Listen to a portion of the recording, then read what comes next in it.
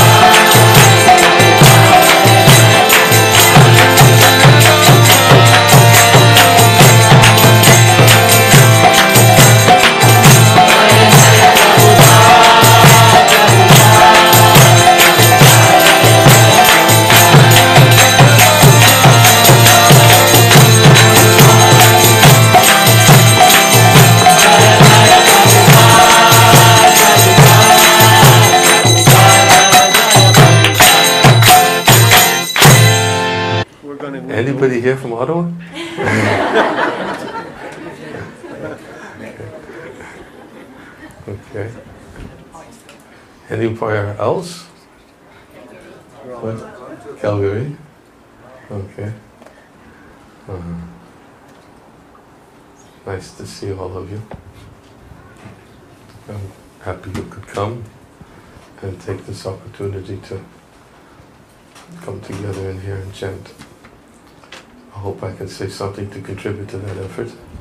I don't even know what I'm going to speak about yet, uh, which is typical. Uh, I was thinking on the way over of a verse, and uh, I'll tell you why I was thinking about it after I find the verse. Um, it's Prahlad Maharaj, uh, seventh canto, ninth chapter. I always like Prahlad Maharaj's prayers and verses from Prahlad Maharaj. I find them to be very profound because they come from the mouth of a five-year-old boy. And uh, he really, uh, when he speaks, it's obvious how could anybody who's five years old speak with such profound wisdom. You generally we think of wisdom as something that's accumulated over the course of a lifetime. In fact, Bhaktivinoda Thakur explains in his Chaitanya Shikshamrita that one of the reasons why in Vaishnava culture there's respect to elders is because the elders are supposed to have wisdom. Wisdom means that you know, they have life experience, and uh, it's very much part of it. Uh, mentions about it several times. But how is somebody who's five years old to have so much wisdom? Obviously, there must be something that's preceded that birth to have so much wisdom at the age of five. I mean, just like one of the verses, I, so many verses of Prahlad Maharaj. One of the verses I oftentimes quote from Prahlad Maharaj is the verse he says, In this material world, every materialist is endeavoring for happiness and, uh, and trying to avoid distress. Actually, however, one cannot be happy as long as he begins his endeavor, as long as he endeavors for happiness, because as soon as he begins his endeavors for happiness, immediately he creates all his conditions for distress. Simple statement, but profound. Five year old boy. as soon as you begin your endeavors for happiness, you create all your distress. Of course, obviously, somebody has to be conversant with the, with the laws of karma to make such a statement. And of course, we know one of the major factors of Prahlad Maharaj's spiritual wisdom was the fact that uh, he heard from within the womb of his mother the transcendental instructions from Narada Muni. I oftentimes quote this too. Sometimes parents ask me, What can I do for my child? before the child's born. and uh, Prahlad Maharaj is a perfect example of what parents can do for their child. Uh, what was her name? Kritajuti? What was Prahlad's mother? Kayadu. Kayadu. Kayadu. That's right, Kayadu. She was hearing. She was staying in the ashram of Narada Muni, and she was hearing daily recitation of the transcendental topics of the Lord's pastime, Srimad Bhagavatam. And as a result of her hearing, and because of Prahlad's presence in her womb, he became transcendentally enlightened, uh, even within the womb. So, we have so many examples in the Bhagavatam of, of persons who have profound wisdom, but as a result of some previous contact, not even in this life, but some previous contact. So therefore it gives us a little sense that wisdom also is something that's accumulated not only in this lifetime, but over many lifetimes.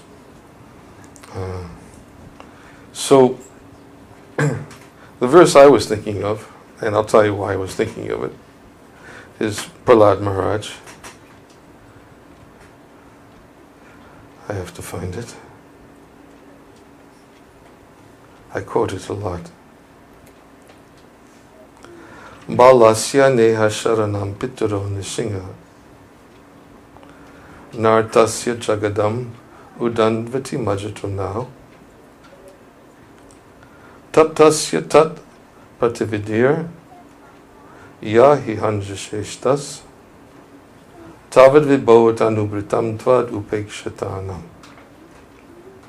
This is his prayer to Nrsingadev. Hmm. He's saying, My Lord Nrsingadev, O Supreme, because of a bodily conception of life, embodied souls neglected and not cared for by you cannot do anything for their betterment. Whatever remedies they accept, although perhaps temporarily beneficial, are certainly impermanent. For example, father and mother cannot protect their child, a physician in medicine cannot relieve a suffering patient, and a boat on the ocean cannot protect a drowning man.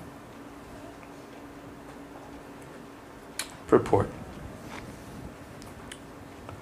Through parental care, through remedies for different kinds of disease, and through means of protection on the water, in the air, and on land, there is always an endeavor for relief from various kinds of suffering in the material world. But none of them are guaranteed measures for protection. They may be beneficial temporarily, but they afford no permanent benefit. Despite the presence of a father and mother, a child cannot be protected from accidental death, disease, and various other miseries. No one can help, including the parents. Ultimately, the shelter is the Lord, and one who takes shelter of the Lord is protected. This is guaranteed. As the Lord says in Bhagavad Gita 931, Kaunteya pratijanihi na me bhakta pranasyati. O son of Kunti, declare it boldly that my devotee never perishes. Therefore, unless one is protected by the mercy of the Lord, no remedial measure can act effectively.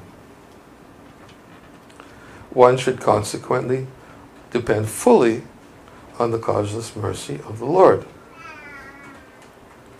Although, as a matter of routine duty, one must, of course, accept other remedial measures. No one can protect one who is neglected by the Supreme Personality of Godhead. In this material world, everyone is trying to counteract the onslaught of material nature. but everyone is ultimately fully controlled by material nature.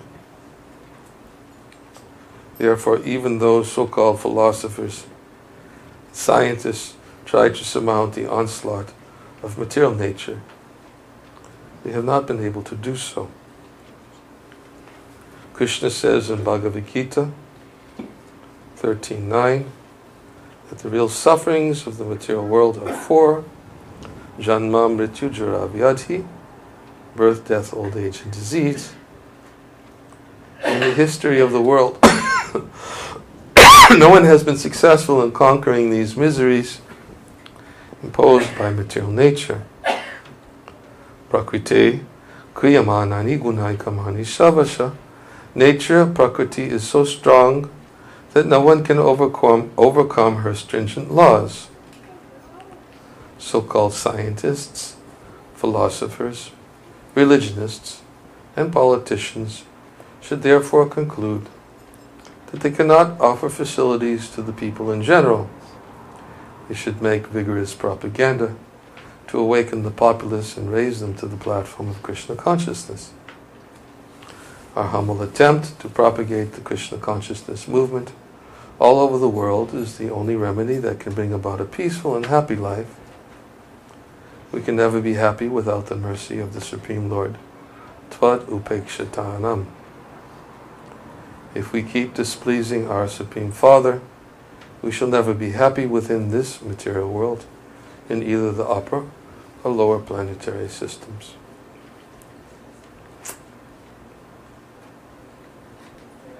Hmm. Why did I think of this verse? I should. I said I was going to tell you. one. And uh, I was thinking that when I stood up, I was in so much pain. I have a lot of pain sometimes. It comes and goes.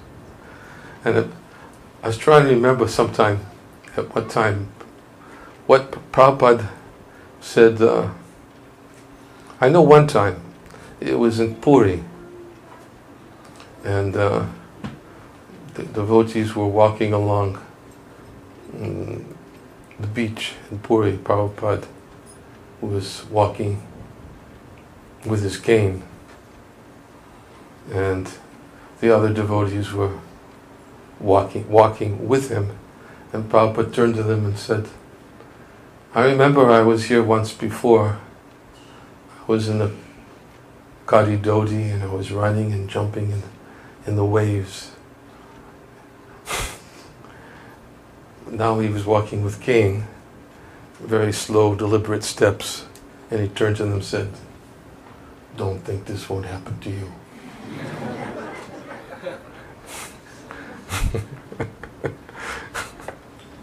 wisdom. that was Prabhupada's wisdom he shared. I'm sure he shared it more than once, but that's one I seem to remember. Don't think this won't happen to you. And uh, I can say that when I was young, I definitely wasn't thinking like Prahlad Maharaj with his profound wisdom. I was thinking, it's not going to happen to me. Especially when you're young. Of course, Prahlad Maharaj said so many things to his friends in this classroom, trying to awaken them to the transcendental wisdom. He was telling them to be careful, not to spend their life. He said, now that you're young, uh, you may think that yes, you can enjoy. He said, but this life, there's not much uh, to this life. He said, in the beginning, childhood is spent uh, in frivolous activities. Uh, in old age, uh, is spent uh, simply trying to counteract the effects of old age. and then he talks about the first 20 years of the life, the last 20 years of the life, then 50% of the life is spent sleeping. You don't have much life of vitality. You should think a little bit more conscientiously how to use this wise, this life wisely. Five-year-old boy telling his five-year-old classmates his wisdom about the nature of life, the transitory nature of this life and the fleeting nature and uh, how it goes by very, very quickly. And sometimes, I oftentimes marvel, especially I, there's a verse, Aya Harati Vaipungsam Ujanyasta Chayadaso. The first, second canto of Srimad Bhagavatam which states that both by rising and setting, the sun decreases the duration of life for everyone, except for one who utilizes the time for discussing the all good pastimes of the Supreme Personality of God. It's a verse I usually quote on New Year's Eve. it's a New Year's Eve verse. New Year's Eve is usually people, in the evening, everybody's out celebrating They're celebrating that another year is gone. And, uh, and another year is time is passing. What's being accomplished? Another year is gone, which means both by rising and setting, as each day is bringing us closer to the termination of this life that people are celebrating. I, my conclusion is they're probably celebrating because they're hoping this is this year is going to be an, at least a new opportunity because last year brought so much, so many problems that maybe this year will be better. so they're celebrating, anticipating on January 1st, it's going to be the beginning of a good year. Uh, but actually, time, one of the symptoms of time, Krishna says, Kalosmi, I'm coming in the form of time and I'm destroying everything by the influence of time. Because of time, there is beginning. Because of time, there is uh, birth, growth, duration, production of byproducts, dwindling and vanishing. Everything in this world, by the influence of time, uh, is ultimately being destroyed. And Krishna in the form of Kalarupa, the time factor, as he says, I'm destroying everything by the influence of time. Of course, that's the nature of this world. And as we know that you know, in this world, everything is dukhalayam ashashvatam, temporary and subject to be full of miseries. But Krishna always explains there's, there's another place that's not under this influence uh, of time. Says that abode is unmanifest and infallible. It is the supreme destination. When one goes there, one never has to come back. That is my supreme abode.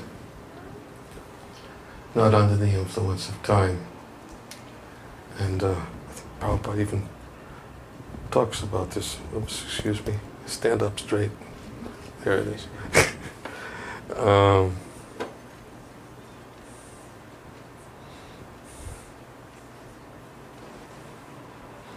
well, he, he just simply says that, that in this material world, everyone is trying to counteract the onslaught of material nature, but everyone's ultimately fully controlled by nature.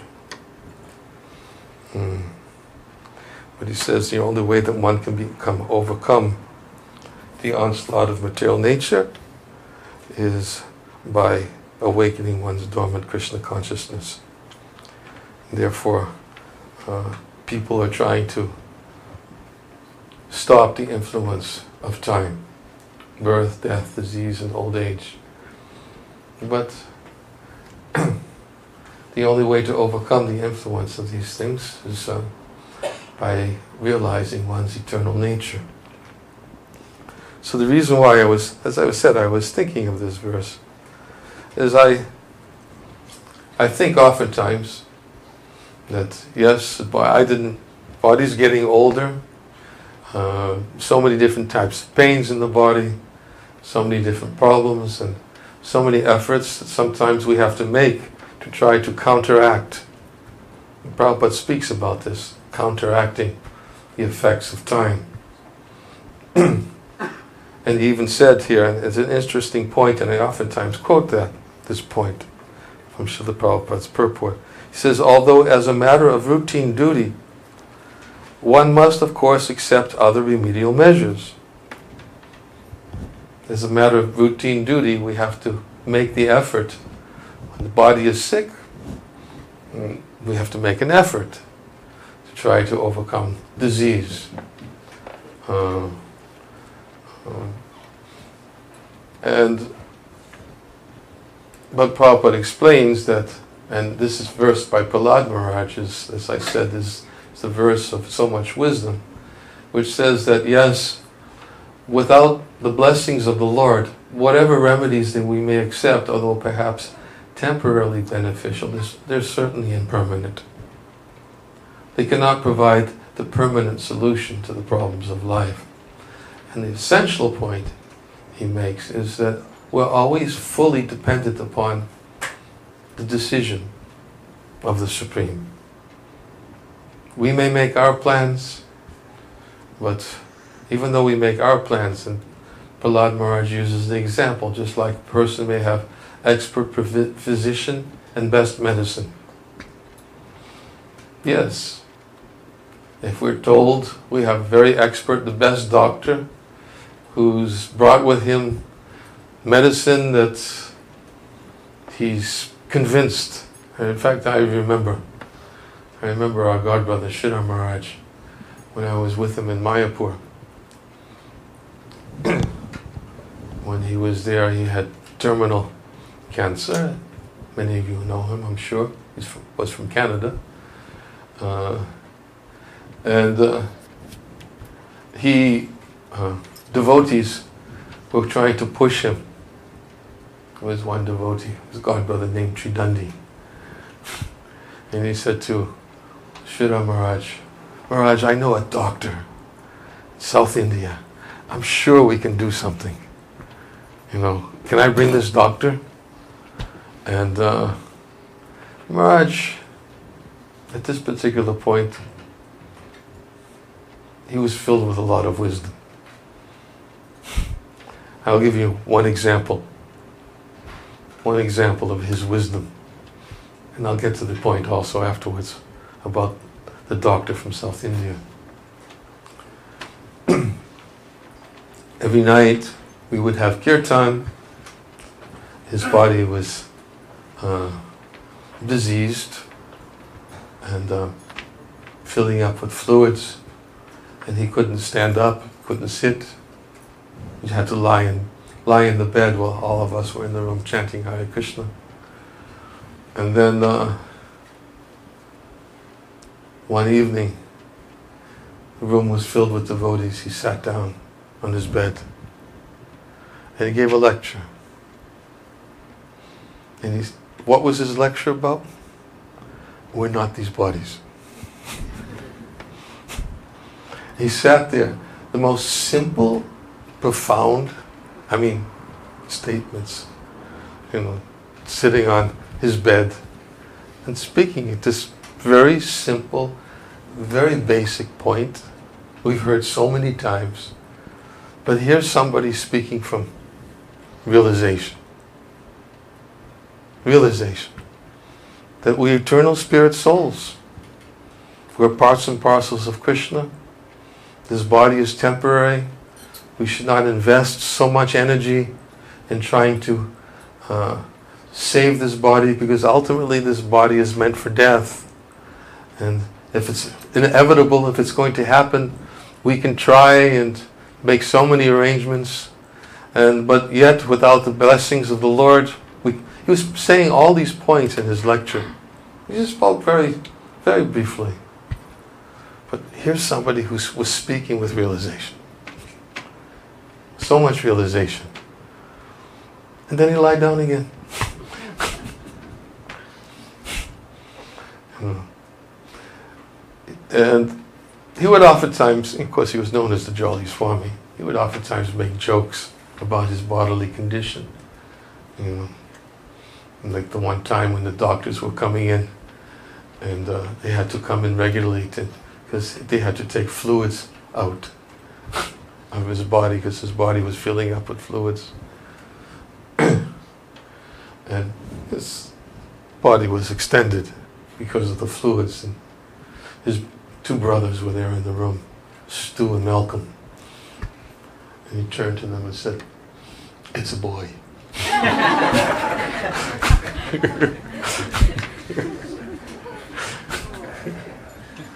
to lighten up the atmosphere. because everybody's standing around. Just immediately tries to lighten up the atmosphere. And not only that, another thing he did that was very profound. It's another. I could, I could talk all day about Sridhar Maharaj. I love him. it's not. I'm not. I don't intend to do it. But but another thing he did.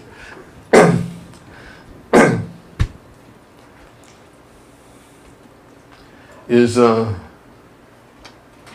I'll get to the doctor in South India. Don't let me forget. but uh, many of his god brothers were there. One of the things he wanted, one of the things he wanted to accomplish, he wanted to be able to be with his god brothers before leaving this world, and that's why he was just he was praying to, to Krishna, "Let me go to Mayapur." I, he, two things he wanted.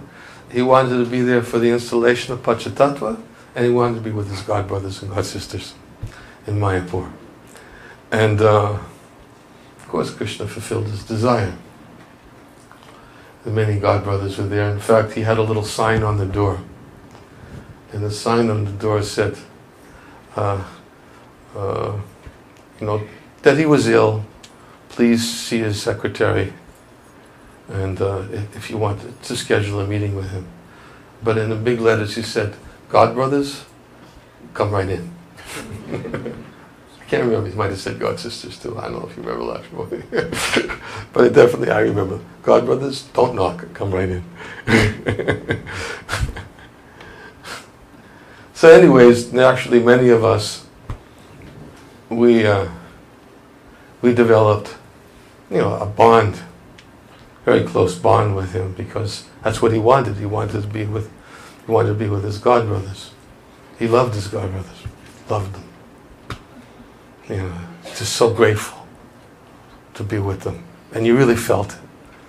In fact, just a few weeks ago, I happened to be on my computer and I dug up a whole folder pictures of him during these last few weeks. And you could see how much he just loved being with, with his God brothers. So it was coming time, this is the story I wanted to tell, it was coming time to, uh, to uh, the, G- the meetings were over, the festival is over, and many of the devotees were getting ready to leave. And Maharaj was still present, and many of the devotees, especially like, like myself, I was thinking, I don't know what I'm going to do. I don't know, you know. I kept on thinking, this is tough, this is going to be tough. I can't go in the room.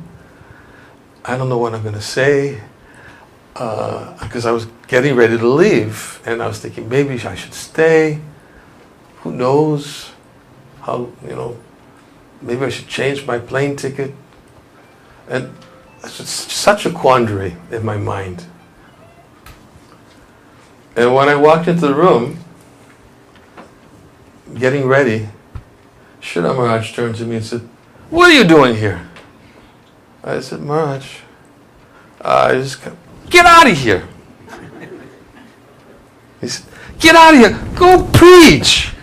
Prabhupada wants you to preach. Go to Moscow. Get out of here. I'll see you in Moscow. He threw me out of the room. He threw me out of the room. Literally. And, you know, took me right off the mental platform. he just settled the whole thing right then and there, you know, like he knew, he knew what was going through my head and he just didn't give me, he tried to put me out of my suffering, I guess, or something like that. Just told me, get out. And I couldn't say anything. I mean, he's my senior godbrother. I had, I said, okay, Maharaj, I'll see you in Moscow. and then I left. Of course, there's more to the story also. Maybe I can tell. Huh? At that whole month, he specifically asked that you regularly come and do kirtan for him. Yes, he did. He asked me. That was your gift to him. He did. He did ask me. He asked me come. He liked my kirtans. And when I met him in Mayapur, I embraced him. I said, when he arrived, I said, Maya, because I missed the opportunity. I was supposed to go to Bombay. He called me once to come to his room in Bombay to have kirtan. He did it a few times, and I went. But one time I missed.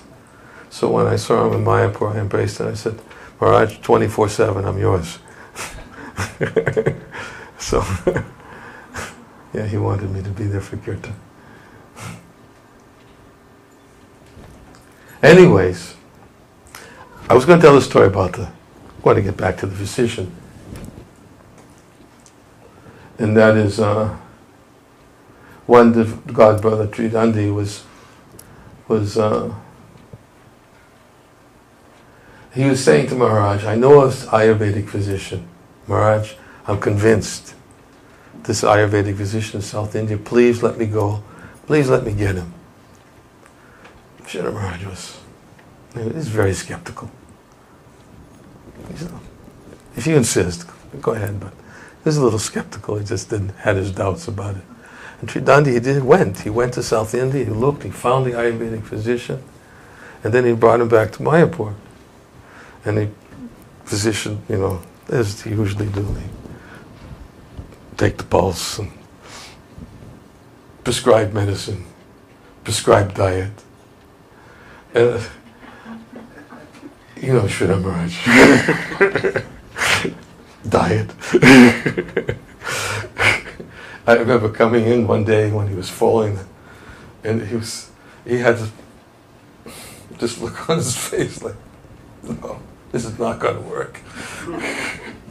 so, like, you know, forget it.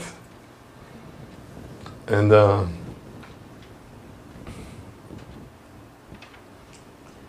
he didn't have that much faith. He had, he, he sensed that he wasn't going to be around that much longer, and he wanted to make the best use of his time. And he just, and as Prabhupada says here, as a matter of routine duty, he did it as a matter of routine duty. That was it. It was routine duty. Why? He was trying to appease, literally, he was trying to appease a god brother was trying really hard. And he took that as his duty, rather than saying, no, don't do it. He accepted the offering, the offering of love. But he, he was already, in his mind, he was thinking how to, how to prepare for leaving. And in fact, uh, when I, uh, I, I, wasn't planning on speaking on this, but it just came up spontaneously, forgive me. I was going to speak. And It's connected to the verse, though. I think it's well connected. But it did come up spontaneously because I guess it's my spontaneous affection for Sridhar Maharaj. I don't know. I just. but, uh, so when he threw me out of the room, I said, well, Maharaj wants me to go. And I was on my way to Kiev. I wasn't on my way to Moscow. I was on my way to Kiev. and uh, I had to, I got a flight. I got a flight from Calcutta to Mumbai, where I was connecting my connection flight, connecting flight to Europe, which was Germany, probably going to Kiev. And uh, when I was in Mumbai, I had a night flight. It was leaving like around two o'clock in the morning, and then about midnight, I was just packed on my way to the airport. I got a uh, phone call from Mayapur, who was Sridhar Maharaj's servant, personal servant. And uh, and Mayapur said, uh, Maharaj, I think you know that Sridhar Maharaj threw all his godbrothers out of Mayapur and told them to go out and preach. I said, yeah, I was one of them. he said, he said, it's really tough right now. No godbrothers are here. and uh, I said, uh, what are you thinking I should, I should do something? He said, no, maybe you know some godbrothers. Maybe somebody can come and there, I think there was, I think Hansa Duda was there. But there, there weren't many godbrothers. So I said, well, I'm in Mumbai right now. Radhanath Maharaj is here. And I'm just on my way. I was literally on the way to the airport to Kiev. And uh, I said, I'll write a message and I'll leave it under the door for Radhanath Maharaj and I'll explain to him the situation. Maybe Radhanath Maharaj will be able to go. And I flew to Kiev. And uh, I couldn't change. The tickets couldn't, couldn't change.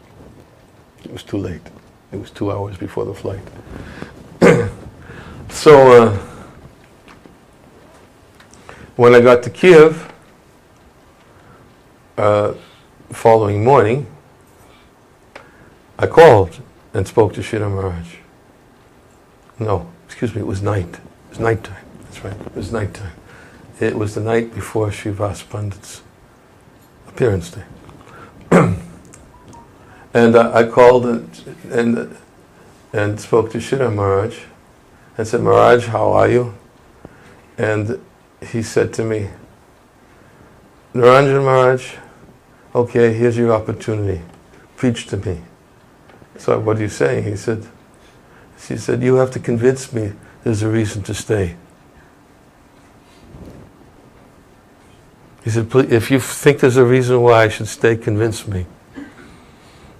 that was his first question he asked me. You know, I said, what do you mean? He said, he said, there's no reason to stay anymore. I can't see any reasons to stay.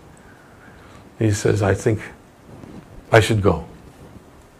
I said, but there's so much service. So many devotees love you. So many devotees depending on you. And he said, I think you're going to have to preach a little more than that. and uh, I did. I got up whatever, eh, whatever I could muster up to try to instill with him because I didn't. I didn't know. I had no idea. I had no idea. But he he had an idea. And after we were on, I was on the phone with him maybe about about 45 minutes, preaching to him, you know, to stay. And uh, then the following morning, he left. He left. And uh, and then I had the a very difficult task to have to go and give a class for Srivas Pandit's appearance day, like minutes after hearing of his departure. It was a real traumatic day for me. Ya Nila Premadana. We sometimes we pray, you know, Prabhupada even said that when Vaishnavas depart, there's no cause for lamentation. He reasons the ill who say that Vaishnavas die when thou art living still in silence. Vaishnavas die to live and in living sprite try to spread the holy name around. There's no cause of lamentation when a Vaishnava leaves, especially somebody who's been so dedicated in service to Srila Prabhupada. And as Prabhupada quotes right here and today, the best, best remedial measure is the, is the widespread propagation of Krishna consciousness all over the world. That is the best service. You've said the service to humanity Everybody else are trying to, everybody else is trying to overturn. Everybody else is trying to, what is the word that he uses sometimes to? Huh? Counteract. Counteract, thank you. I was going blink. Counteract. Everyone is trying to counteract the laws of material nature. But there's no way to counteract the laws of material nature. There's only temporary ways to counteract the laws of material nature. The only permanent way is to become transcendental to the laws of material nature. That means to restore one's original Krishna consciousness, which is to restore one's personal relationship with the Supreme. And uh, Srila Prabhupada said this is the best remedial measure. So Prabhupada says, of course, as a matter of routine, we should try. We make some effort. But we should know, ultimately, in all of this, there is a divine plan. And wherever there is a divine plan, then a devotee uh, must learn how to dedicate his life in dependence on the Lord and the Lord's decision. Then, whatever his decision is, that's the best protection safest place to be in. Conscious, to be conscious of Krishna. Antakale chamameva smaran muktva kalevaram. Prabhupada talks about in this verse, Antakale chamameva smaran. He says, when he speaks about smaran, he says the best way to remember Krishna at the time of leaving this world, he says the best way to be prepared is by incessantly chanting Hare Krishna. Incessantly chanting Hare Krishna. This is our divine protection. Safest place is Kirtan Ras. Safest place.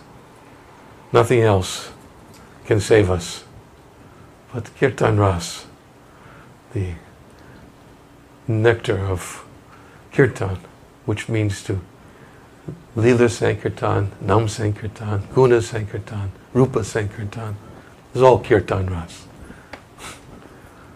hearing the glories of pastimes of the Supreme Lord, hearing the glories of the devotees of the Lord,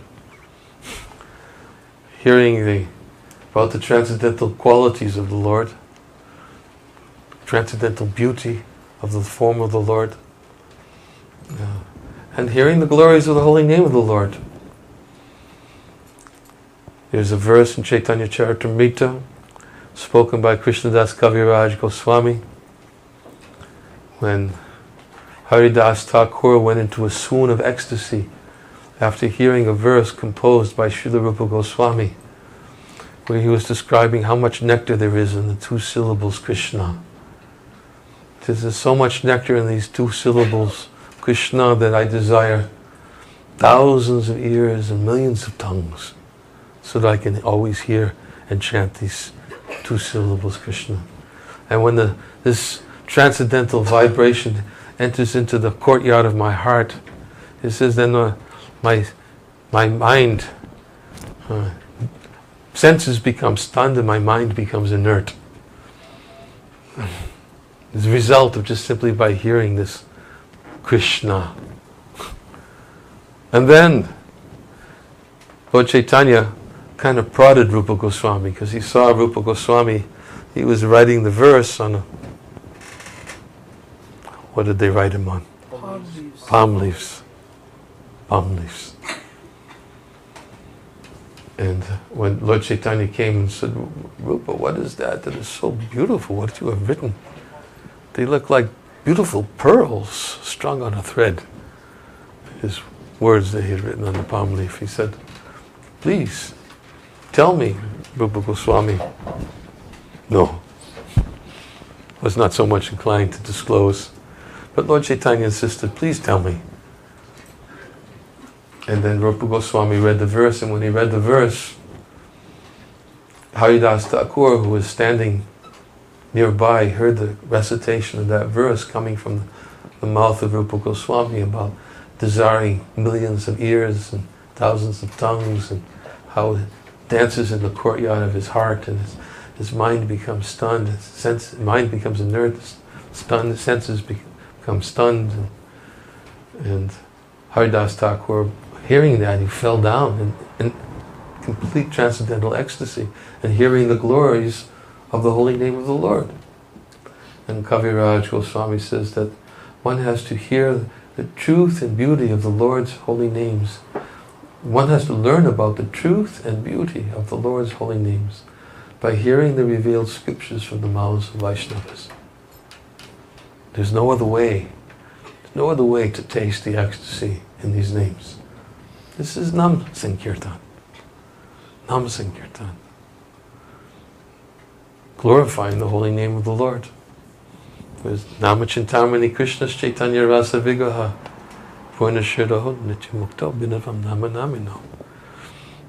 Holy name is non different from Krishna. It's transcendently, transcendently blissful. It bestows all spiritual benedictions upon the living entity. It's not a material name under any circumstance. It's never any less powerful than Krishna himself. Such is the nature of Krishna's name.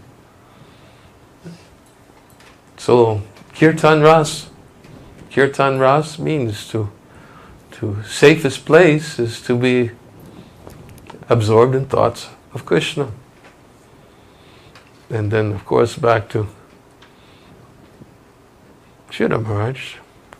That's that's what he was wanted more than anything else, is to be absorbed in kirtan.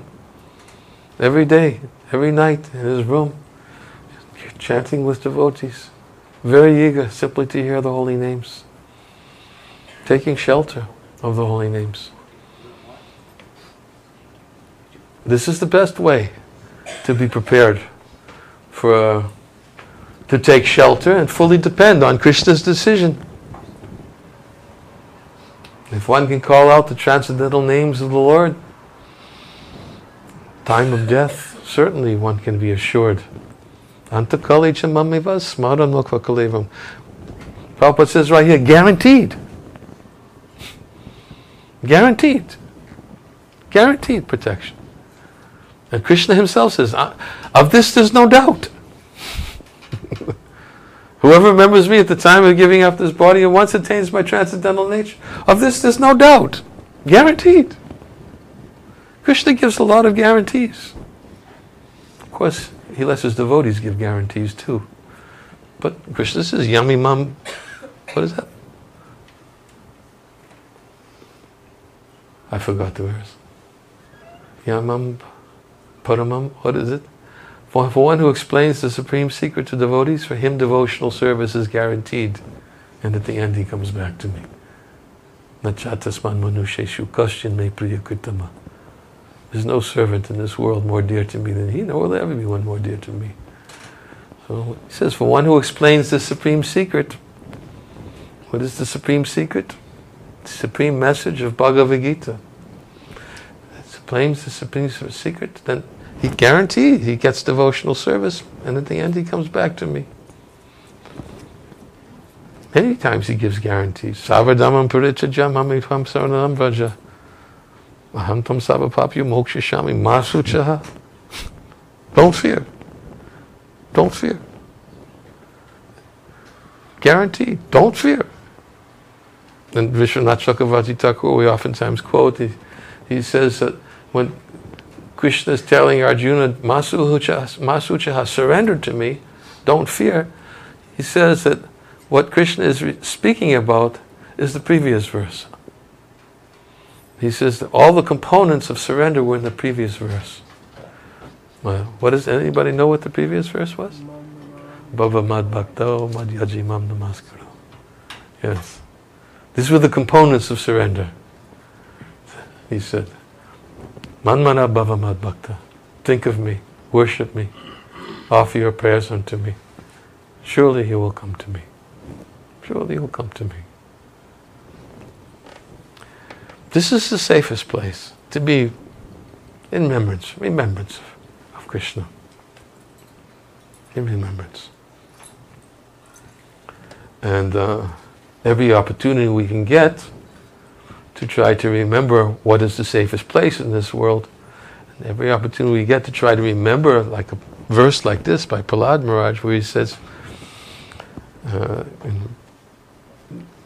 because of a bodily conception of life, embodied souls neglected and not cared for by you cannot do anything for their benefit. Whatever remedies they may accept, although perhaps temporarily beneficial, they're not permanent.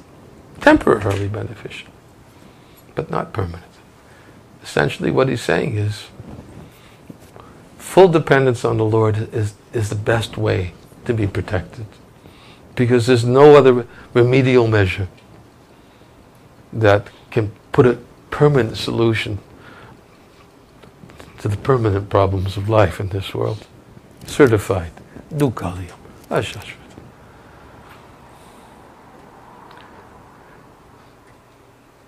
One other story. I've told this story. I love this story. Lakshmi Muni knows the story. She heard it. I think I told it in Toronto when I was there last year. When uh, Sridhar Maharaj was, uh, he had asked me to come every, to come in the evenings to chant. And one evening I, I couldn't I had a terrible headache. It was after a long day of meetings. And uh, and I was thinking that uh, I, I don't think I'm going to be able to go tonight. This is a really bad headache. So I wrote a note to Mayapur, and on the note I said, Mayapur, please tell Sridhar Maharaj, I apologize. I have a real bad headache tonight, and I'm not going to make it. And uh, I sent it up to the room, and I began walking back to my room. And while I was walking back to my room, I was thinking, I'll wait.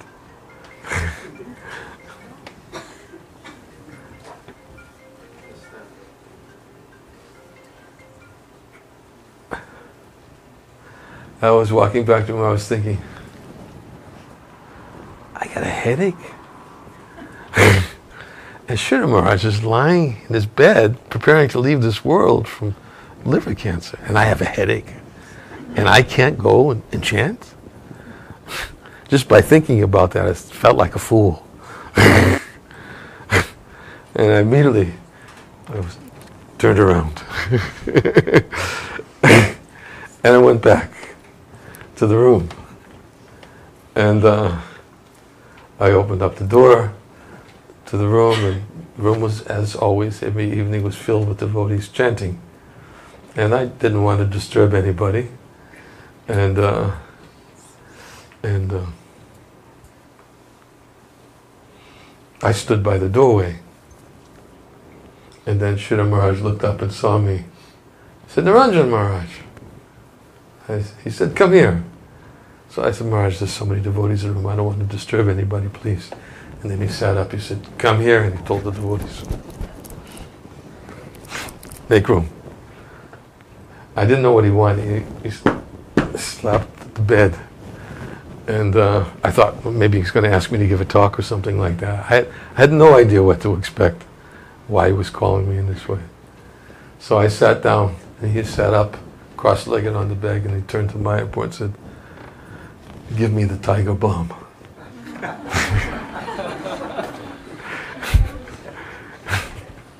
tiger balm is a solve for headaches. so he said, give me the tiger balm. And he took the tiger balm and I started massaging my head right there on the bed. And with a really I mean, strong grip, I said, Maharaj, how are you?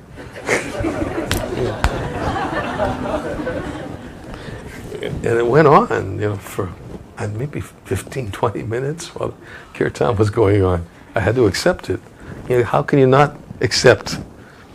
You know, how can you not accept? I was embarrassed, but yeah, here is he's thinking of me, thinking of my headache. like like Haridas Thakur who was thinking of the prison guards who were beating them. you know, it's like he's being beaten in 22 marketplaces and he saw the anxiety on their face and he said, why are you in so much in anxiety?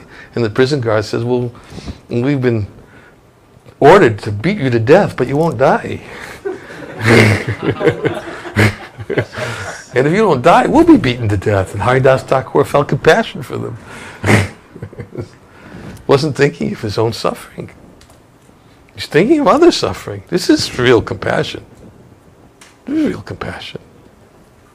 This is what Bhaktivinoda Thakur prays for. When will I become so compassionate? Then I will set out to preach your order sublime. When, oh when will that day be mine? When I feel compassion towards all living entities. This is uh, this is what Srila Prabhupada has given us. This is what he's given. He's given us the remedy. The remedy. Not some temporary remedy. He's given us the real remedy. And he didn't compromise. You know, he not only did he, he set the bar, but by his instructions, but he set the bar by his example. Sometimes I listened, if you ever want to have a transcendental treat, I compiled, I got it all together, all the 1977 conversations of Srila Prabhupada, and listen to them consecutively. Transcendental treat. Because you get to hear again and again how Prabhupada was so detached from the body and so instructive. Preparing us. Preparing us. This is what it means. When he said, don't think this won't happen to you, but Prabhupada was experiencing it and at the same time was so transcendental. And you get to hear from time to time this interspersed with this Prabhupada's health worsened and worsened and how Prabhupada also he would dismiss it as his body's a bag of bones, it has to go. The only thing that kept him obviously was the love from his disciples. you know, he felt so much love from his disciples and he felt strong desire to reciprocate that love and increase our attachment. But uh, we need such examples. If we have examples, then we have hope. If there are no examples, there's no hope. But if there are examples, we have hope. Whatever examples we can find, we have to We have to build our faith on that, invest our faith in those examples. That's why they're there. That's why Krishna put his devotees in difficult circumstances to show the world. This is how my devotee deals with these situations. Devotee is transcendental. Madashriya katamishta shvinvanti katayanti cha. Tapanti vividastapa naitama gachetasa. Engaged constantly in hearing and chanting about me.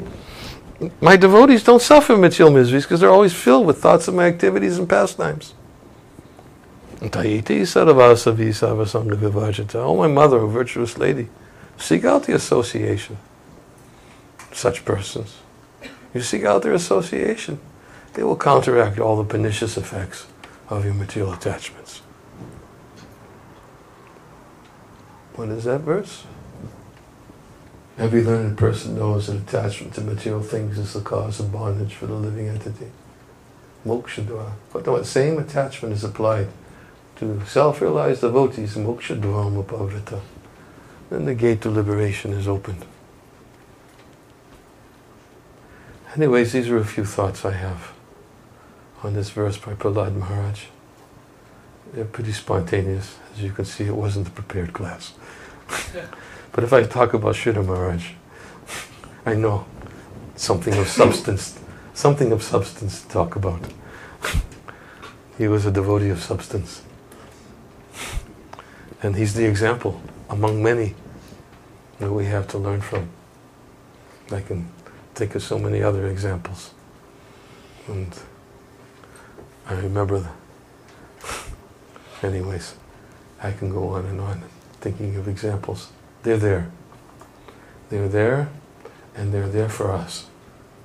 We should look for them and become attached to hearing about them, become attached to remembering them, become attached to speaking about them, and uh, hopefully, Shanadanasya Vasudeva Kataruchi Syanmaya. By serving those devotees who are freed from vice, great service is done. By that service, we become attached to hearing and chanting about Krishna. And our life can become successful. This is why Srila Prabhupada established this Krishna consciousness movement, to give everyone the opportunity to become successful. Thank you very much. Hare Krishna. Jai Srila Prabhupada.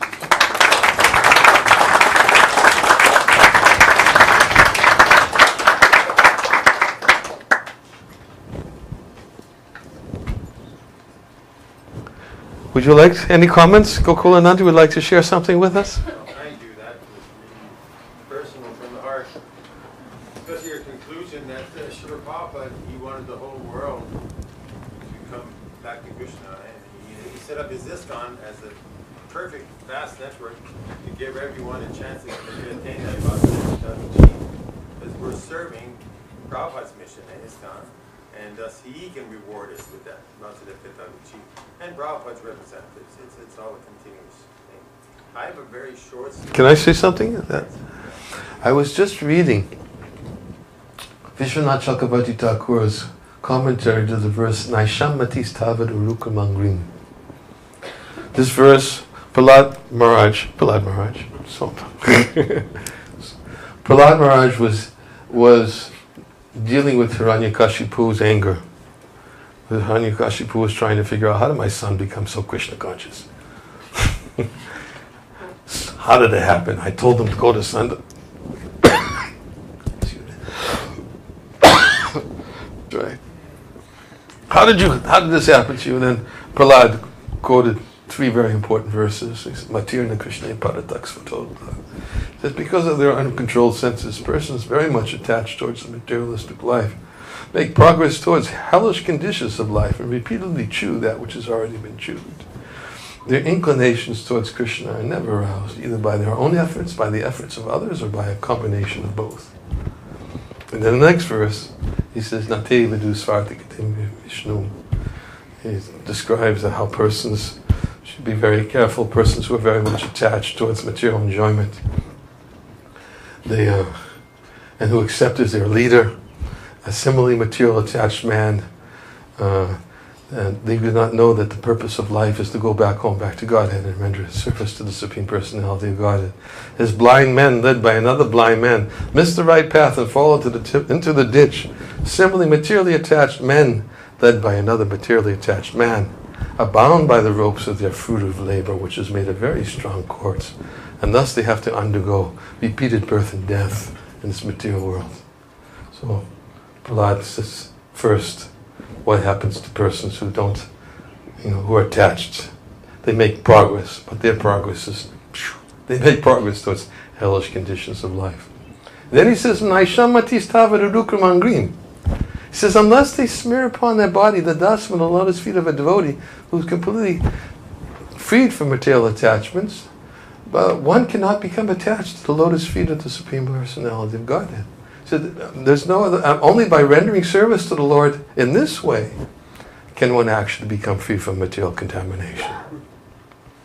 So he says one has to get the dust from the devotee. Vishwanath Chakravarti Thakur in his commentary, he says the dust from the lotus feet of the devotee means to take bath in the knowledge and the example of the pure devotees. He says that's what it means to take. There's another meaning. Of course, we know there are three very powerful substances in this world the dust, the prasadam, food remnants from the devotee, and the water to bathe the lotus feet. They're very powerful substance. The whole story of Jhadu Thakur and Kalidas uh, is, is, given in the Chaitanya Charitamrita. Yes, dust is important. But he makes the point that Dust also means to take a bath in the knowledge and the example of great devotees. So, Srila Prabhupada's knowledge and his example, the dust is still available. Forever. still available. knowledge and example. And of course, there's that wonderful verse also in the 10th canto of the Bhagavatam in the prayers of the demigods when it talks about how the Lord is very merciful. He was like like, uh, like a wish fulfilling desire tree because he accepts the process by which the acharyas cross the ocean. He accepts the method by which they cross, by which they cross, but he's so kind that although they, he accepts their method, he leaves they leave behind the method for others, for his other devotees, for his other devotees. It makes and the very and and Vishwanath Chakravarti Thakur also in his commentary says that that uh, the bhakti movements that are left behind by great acharyas are the methods for crossing. Whatever methods they accepted to cross, it's still the boat is still here on this side. They've crossed, and the boat is still here on this side to cross. So again, evidence to confirm your point. that, was, that was prophetic of this, but not. This was what? Prophetic prophesizing Prabhupada and other, like Bhaktisiddhanta, Bhakti You wanted to say something? Yes. I have a short story, but exactly exemplifies uh, your wonderful uh, appreciation for Sridhar Maharaj. Actually, uh, this happened two two months after, after his actual departure. He had come back to Vancouver to finally have a very long awaited meeting with his doctors because they were going to goodbye. Two months before, you mean? Yeah. Just want to make sure I understood it right. okay, so it so happened I had not had the time to visit him. I spent about a week in the hospital waiting for these results. And I came into his room uh, maybe half an hour after the doctor had just been there to tell him that it was uh, uh, fatal or terminal. There was no way they could stop the progress of his hepatitis C and it was in the terminal phase, and they gave him two months to live. That was the, the verdict for it, you know. And and I said to Maharaj, I hadn't heard this, so I said, Maharaj, so you met some doctors today? He said, yes, they were here. I said, so uh, what was the result of, uh, this test? He said, oh, well, maybe two months. I said, what?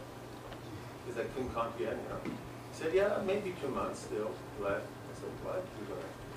I only have two months left in life, you know. And I saw actually, he was not putting on a front, anything. I really had a glimpse of his, that he was a body. He was totally beyond the fear of death. Because, I mean, when he told me two months, I was got a little shook up. I said, my God, that's really not good news. It's-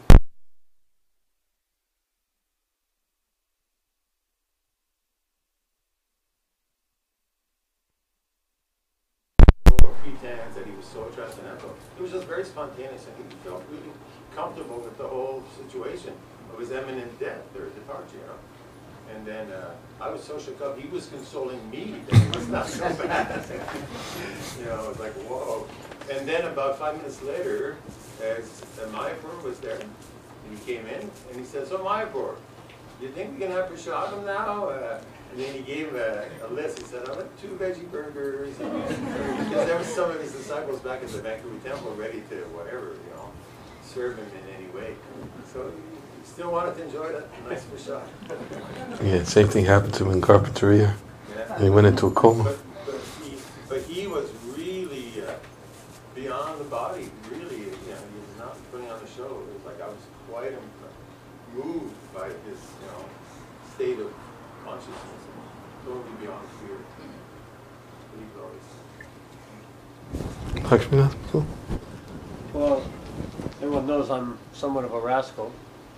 So anyway, but it ties into your class and the points you were making because one day I got a call. I mean, Sridhar Maharaj would see him, you know, in different places in India and so forth, and he was such a sweet devotee and he had no pretense, you know. He was he could just talk to anybody, you know. I mean, he's just a lovable person, and um, so he all of the blue. Yeah, sure.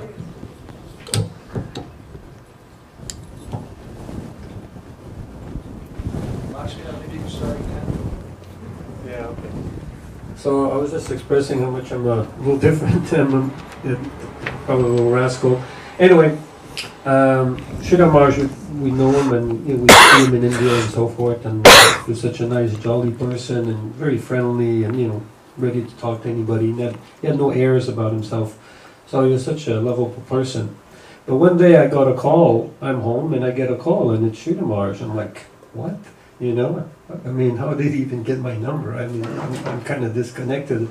and he's telling me he's in Mexico and he's getting some treatment.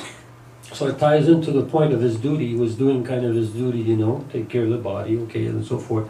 And, um, and I was like, Baraj, you're in Mexico. What are you doing there? So I'm going to some treatment and so forth. So my reaction out of, you know, which wasn't my position, but out, of concern, I said, Baraj, why are you doing this?